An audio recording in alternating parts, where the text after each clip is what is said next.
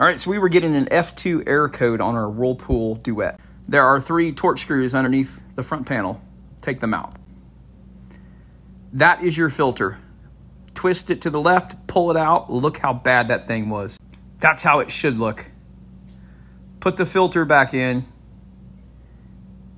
Next, clean up that mess with the shop vac. Don't leave any water in there. Leave it open let it dry out.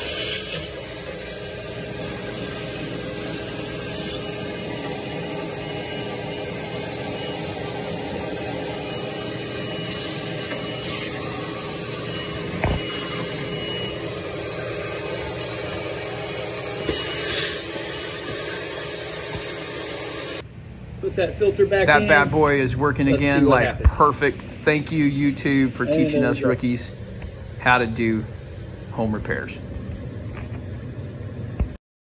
I keep on grooving.